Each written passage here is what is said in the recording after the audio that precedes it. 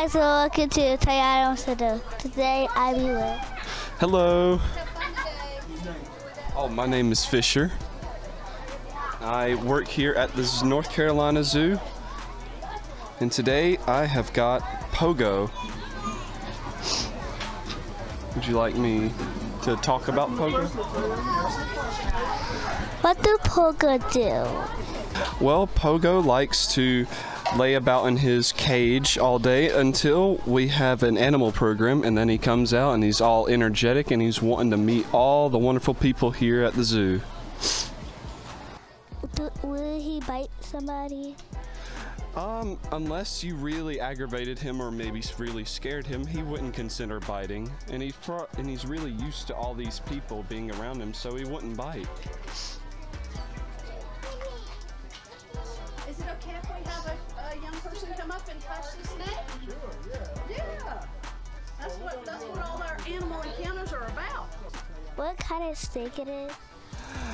Pogo is a ball python, and they come all the way from Africa. Just touch him back here, not on the head. Because if I touched you on the head all of a sudden, would you be scared? Probably, yeah. But you can touch him right here. Yeah. You want to touch him right here? He's friendly, and he's perfect right. What do he do at night? You're going to clean your hand. At night, he mostly sleeps. Good job. and they sleep with their eyes open because they don't have eyelids. So they just sit there and then slowly drift off into a dream.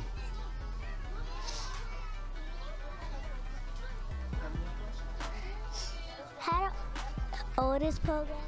Pogo is about 20 years old, and some ball pythons can get to up to 50 years old in captivity. How long you been working? This will be my fifth year here at the zoo.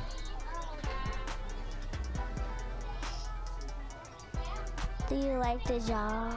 I love my job here at the zoo. It's so fun. We get to meet a lot of interesting people and get to interact with all these great animals. What kind of animal do you see? Here at the zoo, we mostly do animal encounters, and some of them are with pogos, some of them are with turtles, owls, hawks, and uh, groundhogs. Not groundhogs, hedgehogs. How did you get the snake? He was brought here from an old owner because the owner didn't realize how much work and how much care he needed to put in for the snake, so he just returned them to us. Well, that is today, guys. Subscribe, thumbs up,